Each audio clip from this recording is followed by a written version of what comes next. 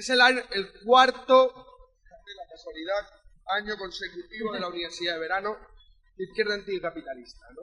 Es- año tras año intentamos que este espacio sea un espacio de unidad, un espacio de reflexión colectiva y de encuentro entre los y las anticapitalistas. Y yo creo que podemos decir que por primera vez en Madrid la Universidad de Verano lo ha podido conseguir. Realmente la universidad intentamos construir lo que podríamos llamar o como podríamos entender la izquierda y otro mundo posible. Una universidad, una izquierda y otro mundo abierto, plural, profano, laico, integrador, intransigente en el debate, pero respetuoso en el trato con los compañeros. Una izquierda que sea el reflejo de la sociedad que queremos conquistar. Uno de los libros que a mí me marcó más fue un libro de Mika Feldman que se llamaba Mi guerra en España. Y era el diario de la primera y única capitana en la guerra civil española, en la revolución española. Una militante del PO, que cuando estaban asaltando un cortijo se tiró las manos a la cabeza diciendo que por qué toda la brigada de extremeños que estaban bajo sus órdenes estaban comiendo todo el jamón que encontraban en el cortijo. Decían, no vamos a poder marchar mañana, no vamos a tener comida para mañana. Y le dijo otro compañero, Mica, ellos siempre han criado jamones, siempre han criado cerdos y nunca habían probado jamón. Para ellos, mover el señorito es construir socialismo. Tenemos que intentar construir socialismo cada día en nuestra militancia cotidiana.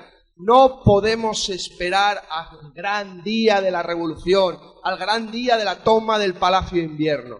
Las pequeñas cuestiones, cómo nos relacionamos, cómo construimos nuestra organización, tiene que ser el reflejo vivo de la sociedad que queremos construir.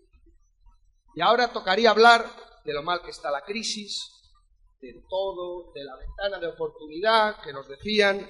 Pero bueno, todo esto lo hemos hablado bastante en la universidad.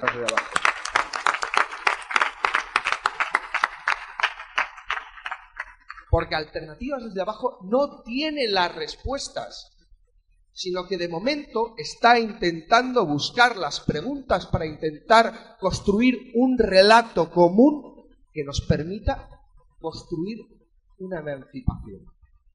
Intentar encontrar un espacio común y democrático de estrategia. ¿Por qué? Porque yo creo que el movimiento 15M hace dos años supuso lo que podríamos llamar una impugnación intuitiva del régimen del 78.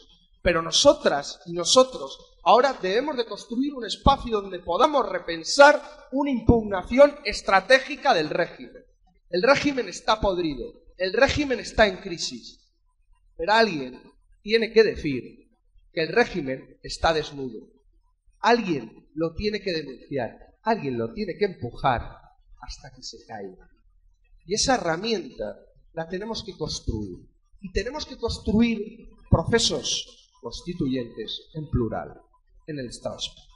Para poder hacer eso. Y no nos podemos conformar simplemente con reivindicar que nos devuelvan lo robado. Que pedir a la gente ir a por más, apostar a todo, porque nos lo están quitando todo. No queremos sus migajas, lo queremos todo, lo queremos ahora y lo queremos para siempre. Porque defender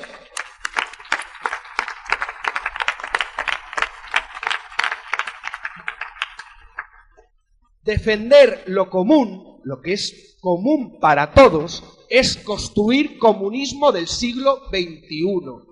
Defender lo colectivo es construir comunismo del siglo XXI. Y no nos podemos conformar con el mal menor. Un mal menor puede ser el camino más corto hacia lo peor. No podemos consentir cerrar en falso esta ventana de oportunidad que se nos está abriendo. No podemos pactar con el régimen. Con el régimen no se pacta. Con el régimen se le derroca, al régimen se le aplasta y al régimen se le opone la alternativa desde abajo, la alternativa de la gente, la construcción entre todas y entre todos de nuestro futuro. Recogerlo, pero no recogerlo de cualquier forma, no ganando una elección, sino al asalto, porque va a ser la única forma de recoger lo que es nuestro ahora mismo. Cogerlo al asalto, asaltar los cielos. Eso es lo que nos toca. No hay otra cosa. No vamos a pedir migajas, lo vamos a coger todo. Y por eso esperemos que esta Universidad de Verano nos haya dado herramientas de debate, sobre todo nos haya cargado las pilas para en septiembre empezar a cogerlo todo. Y abajo la mafia.